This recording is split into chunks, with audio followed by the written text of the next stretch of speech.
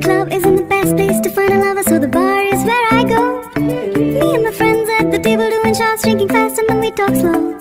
Come over and start up a conversation with just me.